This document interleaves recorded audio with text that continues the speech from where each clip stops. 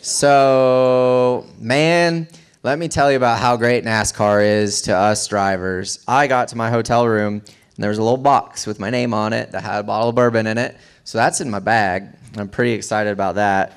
Um, but I've got a, a couple bottles that uh, were bought early in 22 that were like, the next win, we're going to drink these. And they've been sitting on the counter way too fucking long. So, um, yeah, so to everybody that said I, I couldn't win and don't deserve to be at Hendrick Motorsports and all that bullshit, um, cheers to you.